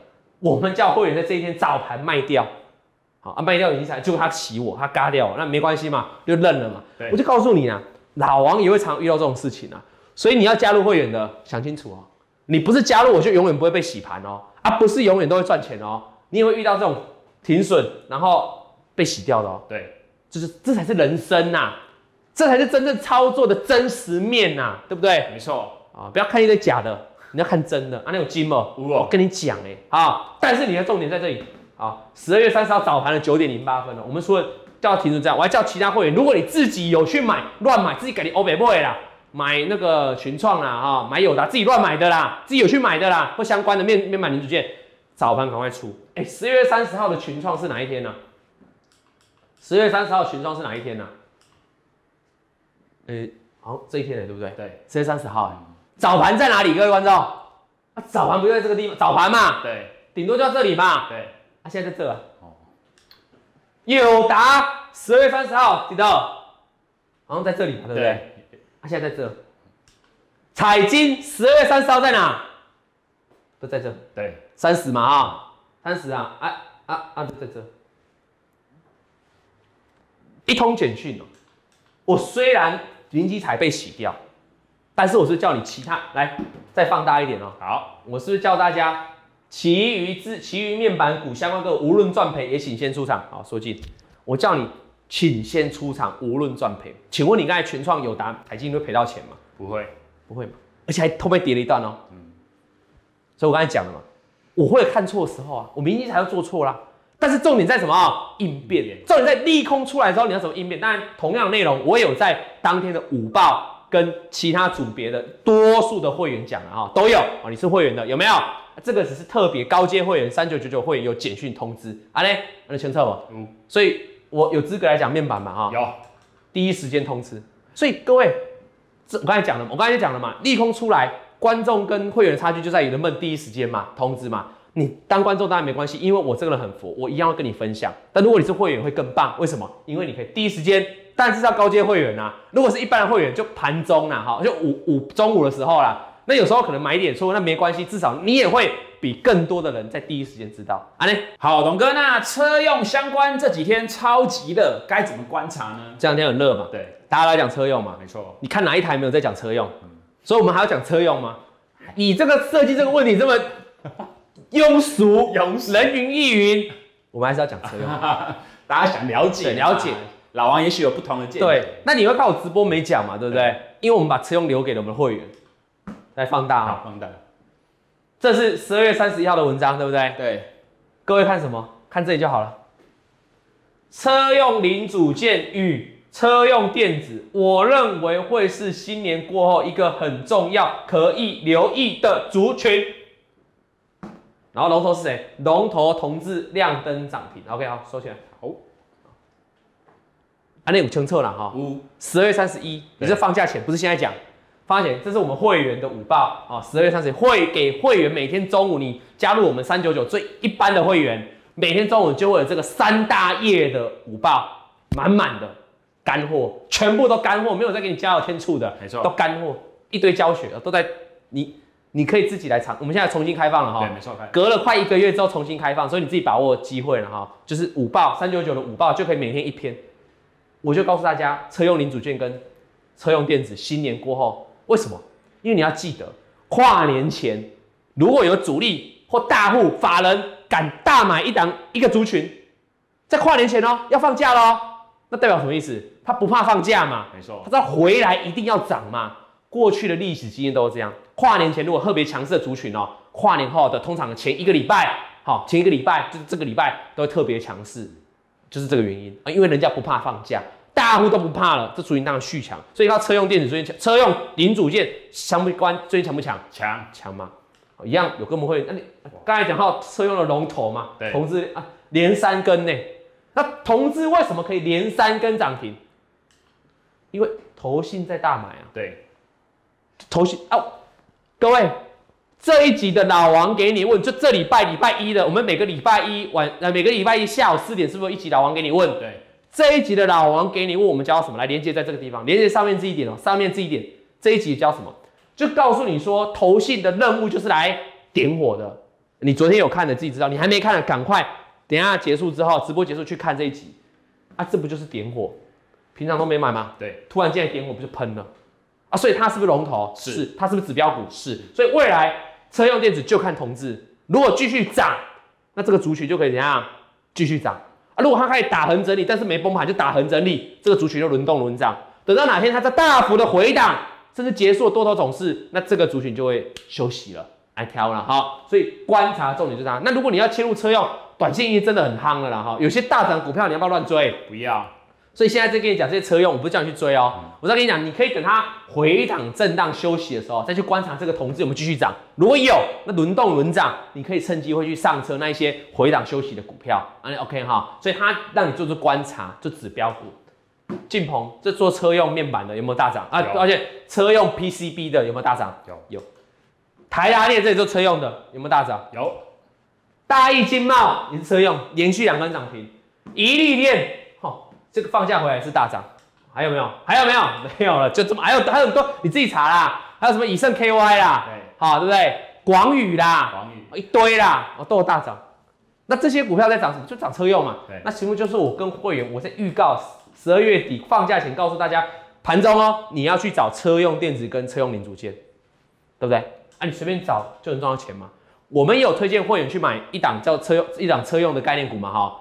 昨天也是大涨了超过五个 percent 哦，好，也是有到达我们停利价，好，那所以我就说你要选对主流嘛，那你提前去布局就不用现在来抬轿，好，那这些都是大涨的股票，你要不要再追？不要，你自己等观察那个同志指标股，它只要回档休息之后再度往上，啊，就是它没有跌，它没有翻空的时候，那强势股你自己在找位置哦，回档的时候去介入，安利听好不好？好，那我认为啦，那这张图你有没有很熟悉？有。这样有没有很熟悉？有，这不是前两个礼拜的。我们跟大家讲什么？Apple Car 嘛。其实市场上现在这一波的车用，你说同志有有投信点我，但最重要的主题还是在于 Apple Car 这个题材嘛。对，这张图不是今天拿出来的哦，两个礼拜前就有了。这个礼拜四礼拜四也会放精华片哦，你自己去看。你为什么？你有没有看到这里？组装厂传红海玉龙合作的红华先进。玉龙最近又飙飙，靠超标了，这老牛股飙成那样，大牛股红海这两天飙飙？飙，都是绑住一个 Apple Car 的话题嘛。那再看这个，我那天写给大家供应链的概况，和大茂联多家厂商，和大茂联昨天都是不是涨停板？对，啊，这张图不就，当时讲这张图的时候呢，这些都还没涨，对，因为涨一些什么，涨一些嘉麟呐、正达啦，啊，涨这些啦，哈，啊，这个都还没涨。结果还是轮到他们涨了，直播要不要认真看？要，这个这个两周前就给你们就统计给你们啦。哦，你看哦，玉龙玉龙玉龙啊，强不？强啊！啊，红海啊。所以我问，然后然后最近还有个呃，以盛 KY，哦，以盛 KY 嘛，这个以盛 KY 是红海集团的嘛？对。那它这个大涨之后怎么看？就我跟你讲哈，我要跟你讲一件事情啊，这些车用你们会问一件事情说，那短线观察怎么看？我当然指标股是同质嘛。对。那我如果已经在车上，我短线的观察怎么看？各位观众怎么看？很简单，玉龙啊，这波整理是不是在往上？对，请问他守住哪条均线？五日均线。红海这边整涨上来之后，这边整理守住哪条均线？五日均线。以盛涨上去，这边整理守住哪条均线？五日均线。所以车用跟车用电子、车用零组件，你现在听好，已经大涨上去的短线，好，短线强弱就看。五日均线记好笔记哈。那如果像这种有投信买超、投信大买的啊，你可以，如果你波段的角度，你可以看哪一条均线？十日均线。哎呀，分辨，因为有投信买超嘛。正达，吼，标不标？标。做这个这种双层变色玻璃的嘛，也是看五日均线。好，广宇标不标？标。请问它是不是守住五日均线？对。所以这种车又很标，你不用再追了。但是你持有的，或者你想观察它强弱的，就看五日均线。啊，全测了哈！我跟大家讲啊，正达、正正啊，广宇啦，正达啦，以盛啊，这这不就是红海集团？对，哎，红海啊，玉龙不是跟红海合作？对，所以一台 Apple Car，你觉得带给红海这整个大集团当中股价多少的帮助？当然是很棒的帮助嘛。所以那你要不要管 Apple Car 到底真假？不用管嘛，反正股价人家有涨就是涨真的嘛，对对吧？那还有还有，你看刚才提到这个。这边啦，和大茂联嘛，哈，对，茂联昨天涨停板，和大不也是涨停板？对，好啊，不是早上帮你们统计出来了，那个还是老王整理报纸的消息啊，哈啊，这个直播就黄金嘛，对，对不对？直播，你看人家哈，这边有没有大涨？没有，这边有没有大涨？没有，你有必要去追嘉陵、正达这种的吗？上礼拜不需要吧？不需要你知道 Apple Car 的题材吗？红海那时候也没大涨嘛，所以他们就是绕在一个什么啊 Apple Car。那这个这个这个族群涨上来之后，我刚才讲不要乱追了。那大涨股票看哪一条均线？五日均线。好，那接下来今天重头戏了，答应大家的人数直播在十二月底前破万，线上直播我们有一万一千的，连续两个礼拜一万一千的，我们要抽奖，跟老王跟奶爸。共进下午茶，免费的，免费来这边聊天就对了，聊天就对了，吃东西啊，喝饮料没错，，free 的，跟老王约会啊，一个下午，好不好？十名，我们现在就要来抽喽，加码加码加码加码加码，而且喊捐出来，捐出来，不是尾牙还没到不要那么兴奋，我知道你尾牙想喊，不要这样喊。啊，你要加码。加码，好，我跟大家讲啊，真的要加码，跟大家讲，跟大家讲，想加码的。旁边加加一好不好？聊天室帮我打加一。如果你想加码的，加码的帮我打加一。哦，好，洗版，洗版我用脑子想，我用膝盖想就知道洗版。一定加码，加码，加一对不对？我跟你讲，冷静，冷静。好，聊天室先冷静，不要再加一了，冷静。先听我讲，如果这一集，现在这一集有一万五千人收看，我下礼拜再抽五个，好，再加码五个，再加码五个，五十趴，再加五个，可以吧？可以这加码可以吧？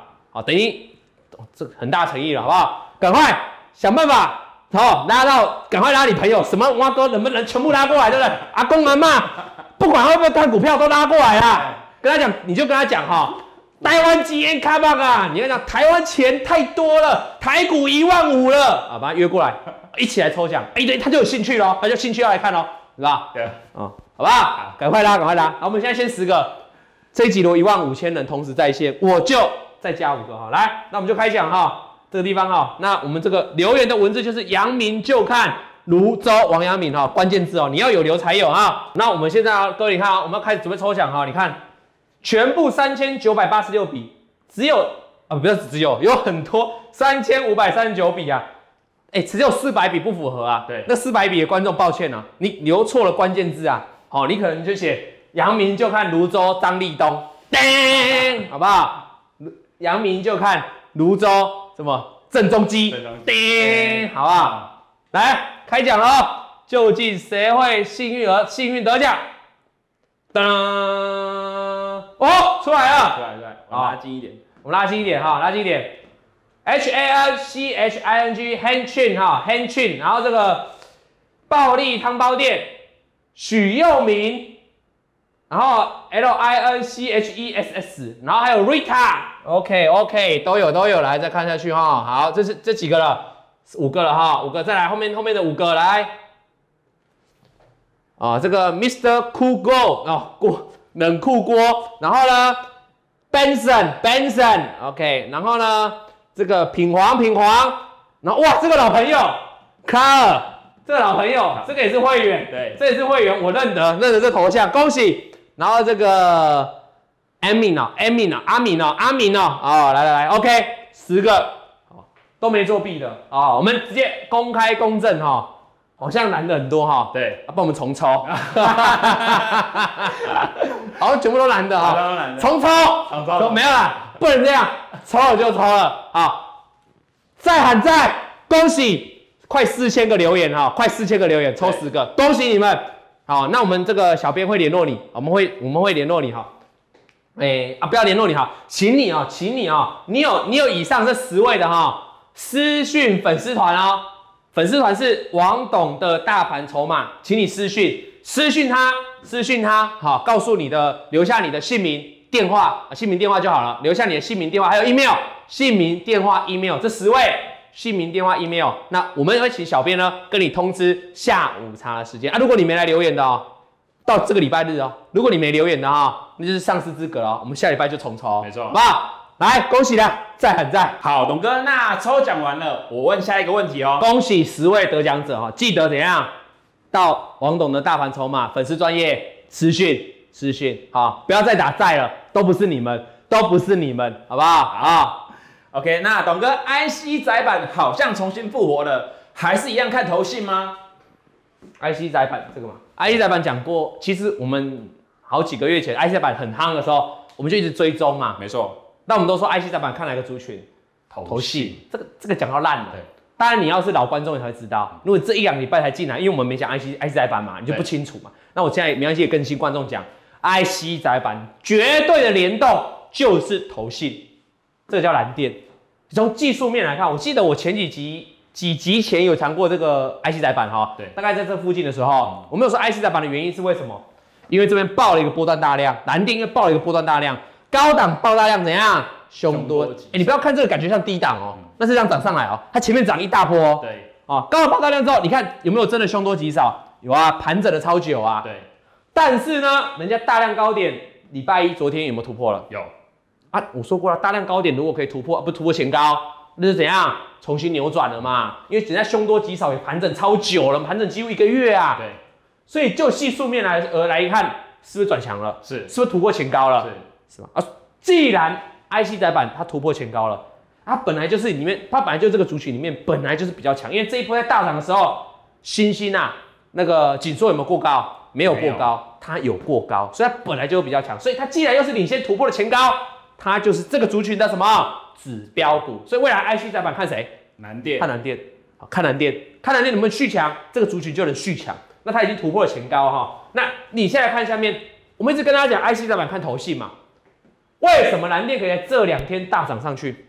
还不就是因为前面投信已经偷偷进来买超两天了，对。这边都在卖，这边都在卖，卖卖卖，开始连续买超，股价就怎样？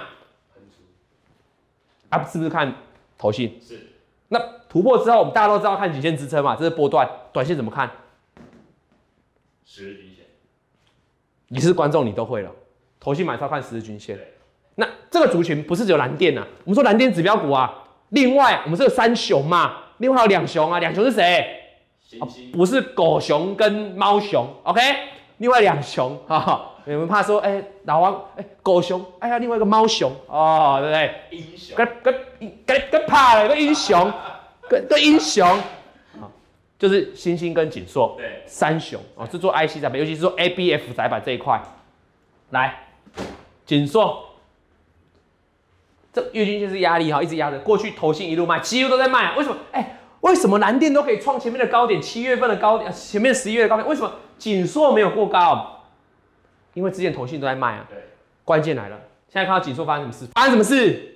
转买啊，投信来啦，It's come back 哎哎，尊重，respect，OK，、好，回来了，他回来了啊啊，啊所以所以怎么办？就多方趋势了啊，回来还要我教吗？投信卖超就跌啊，投信买超嘞，就会涨嘛，而且要突破月均线，星星，你看这个最清楚哦，南电早就过这个高点，对早就过，然后最近也过这个高点，星星过了没？还它卡在那，但是我教过啊，这个把高点连线，这个叫什么？前高颈线嘛。啊，蓝电突破前高颈线就喷出去嘛，啊就我看到货柜行台股也是啊，对不对？啊，所以星星啊，今天已经开始收脚了哈，已经开始。那如果可以突破前面这两高点连线，那星星当然也就是啊，就怎样，就跟上次的万海一样嘛哈啊，都怎么样你就自己去看了哈，我就不讲了嘛，因为这形态教过很多次了嘛。对对不对？就技术面来说吧，啊，如果突破不了又跌回来嘞，那就突破失败，那就小心一点啊。如果就突破出去了嘞，那就突破前高嘛，那就是摆脱这里的长哦，这整理超久啊，对不对？对星星为什么可以？哎，今天好像哦，这两天很强哦，竟然收最高哦，为什么？投信在这里，投信投信转买了嘛，这边投信是不是卖？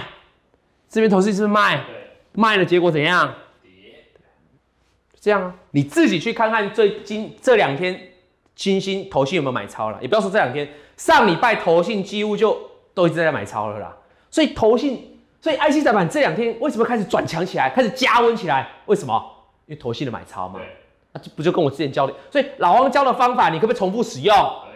一用再用，我教的是对的方法，我是干货啊。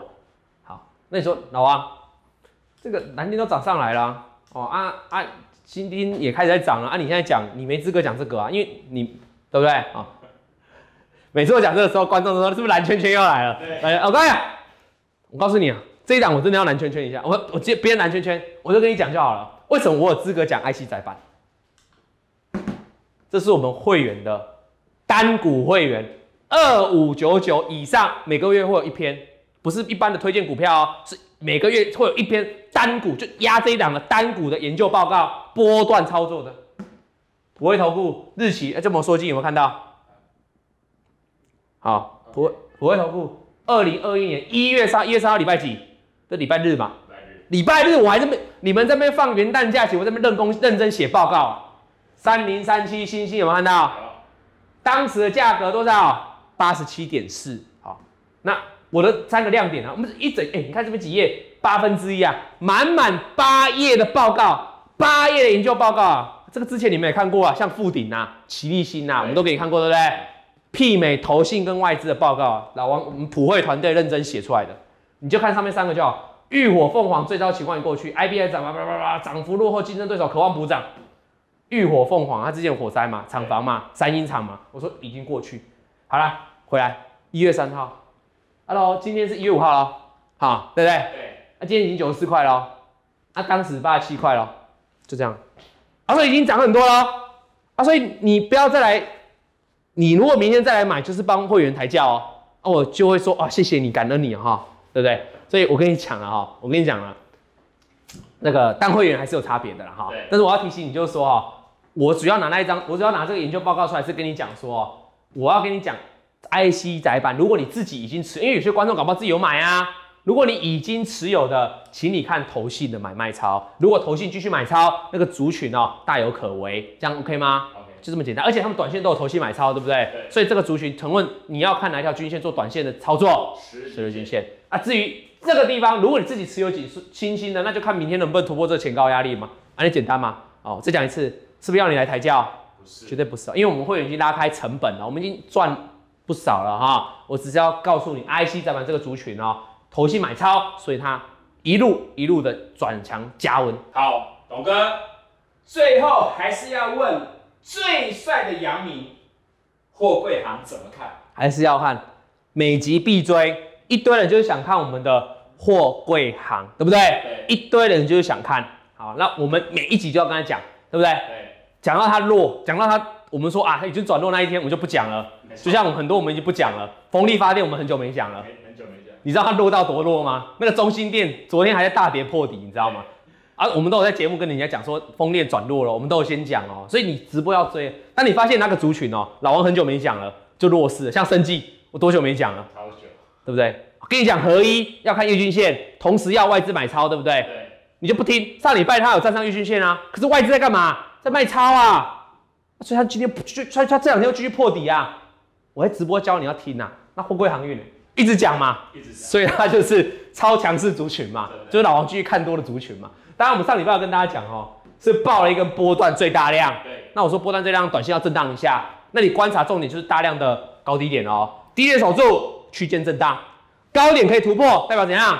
整理结束，继续转强嘛。上礼拜有讲嘛？对，你看它爆大量之后，是不是真的震荡了？万海啊，啊，它真的就继续震荡，因为它在，可是它它，你说它崩了吗？没有。我们说它短线的支撑看哪一条？十日啊，有跌破吗？没有，没有嘛。所以不管是这种大量低点，它也没跌破，十日均线也没跌破，那它就区间震荡，啊，OK 不？好，啊，它也没转强，因为大量高点有过吗？也没没有，所以它是三雄里面比较弱势的啦，好。那你这样的话就去用区间来判断，或是用十日均线都可以啊。那长龙的话就不一样了，一样爆大量，人家整理个两天哦，哇，这算这也算跌破我的眼镜了啊。但是我没看错，因为我们本来就是看多，我们说大量低点跌破才会转弱哈。只是我认为本来会整整理个几天呐，或一个礼拜啊，两天就上去了。坦白讲，我们要坦白讲，我们没没没有想到会这样啊，因为当初爆大量，我们觉得是要整理一下了。对，好啊，就就上去啊，上去没关系啊，它。大量这个最你看跨年前的尾盘给你拉上这个高点啊，大量高点站上去那怎么办？就就就上不去啦。对，因为它过高了嘛。大量低点有没有跌破？没有，没有嘛。再从均线角度，长龙的惯性支撑讲到讲到我快生气了，讲到烂了。哪一条均线？五日均线。我我从来没改过哦。短线就是五日哦。那请问有没有破？没有。啊，波段看哪一条？十日。有没有破？没有所以需要卖吗？就是它，它多头趋势有改变吗？没有。嗯，这样讲完了，就五日十日嘛。啊，再看阳明哦，阳明，阳明也是跨年前的尾盘下午盘过给人家偷拉急拉，对涨了五趴，给人家拉过这个高点有没有过了？有哦，两天都过，这两个这两档算很强啊，比万海强多，万海到现在还没过，强，过了是不是就喷出去了？对，啊，过了大量，我不是讲说过大量结束整理，它喷出去很正常啊。啊，如果你从中均线来看，五日跟十日嘛，阳明讲很多短线，你要不要停利？你要不要先出场？是不是看哪一条均线五日均线有没有破啦？十日是不是波段？对，有没有破啦？没有，货柜货柜行情就这么简单，我要每集解什么？啊，就看两条线就好啦。然后有大量的时候看大量高低点，但低点有没有守住？有，所以如果你有认真每一集看我们直播，尤其这个月以来，真的你货柜行应该是爆好爆满啊，对，因为都没有关键的时刻都有老王啊，关键时刻老王都有请航海王出来救援。你还记得那一集我还变身航海王来救救货柜行啊？那一集货柜行是大跌的哦。对，那因为他们都没有破线呐、没有破线，你在紧张什么？如果你到今天哦，你是这样啊，原本假设一万张，原本假设你有一百张，卖了哦，一直卖卖卖卖到这里剩一张，这样超过是不及格的，因为你大赚没有爆了，你好不容易买到那种标股，结果你没爆了，那你要检讨自己啊。请问他有任何一条这些这些标股有哪一条线洗你吗？没有，都守住五日均线呢，所以很简单的一个逻辑哈，长隆跟阳明什么时候会转弱，就看要修正，就跌破五日均线嘛。那什么时候波段会真的就是比较翻空，十日均线嘛。啊，你要自己做长线看十日，做短线看什么？五日。好啦，今天讲的超多了，今天大概超时哦，可能九十分钟哦，满满的内容满啦。满。因为因为隔了一天没播嘛，对，好、那我们剪接师也非常，大家打字幕非常累，好、那我也非常累，好、那我希望这么累的结果，就为了呈现给不管是会员还是非会员的观众，我希望你们看了这个节目之后，认真地按赞。上个月上个礼上一集我们八千多个赞嘛，哈、对，这一集看有没有一万个赞，然后你要多帮我分享，多订阅，这么优质的节目，没有你们的支持，留言留言支持，要多留言。如果你们没有你们的留言支持，很难撑下去，因为很累，因为这 free 的不用钱的，好不好？好啦，谢谢大家，谢谢大家收看今天直播，我们礼拜五再见。我很想想下礼拜二，因为累了，礼拜五再见，拜拜。王以龙、老王及普惠投顾与所推荐分析之个别有价证券无不当之财务利益关系。本节目资料仅供参考，投资人应独立判断、审慎评估并自负投资风险。